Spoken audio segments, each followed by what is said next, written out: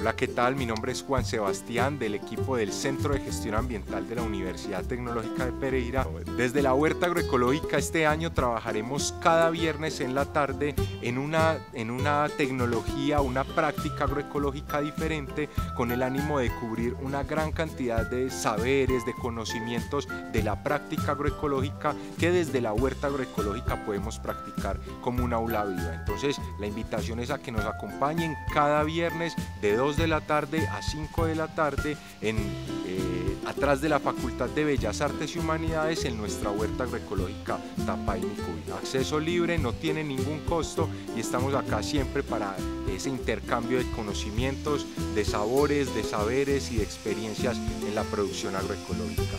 Todos cordialmente invitados.